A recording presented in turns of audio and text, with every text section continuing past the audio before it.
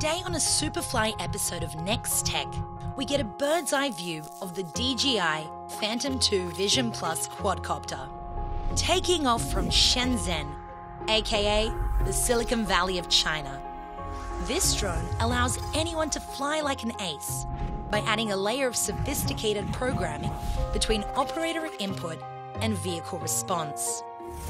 So signals to the receiver are instantly translated into algorithms controlling the individual speeds of each rotor for changes in velocity, altitude, and direction of travel. And should that travel ever take the quadcopter out of control range, it won't get lost.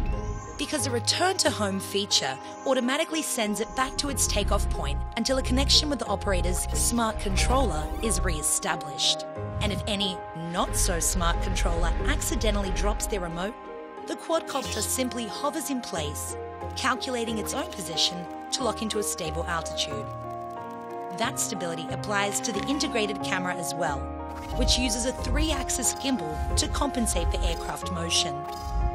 Because while flying is fun, aerial photography is what the Phantom 2 Vision Plus is really all about. With 14 megapixel stills and HD video streaming directly to any mobile device, taking photo bombing to a whole new level. But of course, there's always a new next tech right around the corner.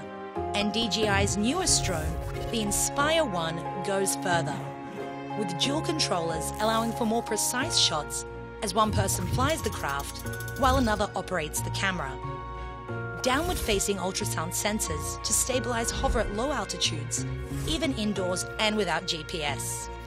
Plus carbon fiber arms to lift the landing struts up, up, and away for unobstructed 360 degree visuals.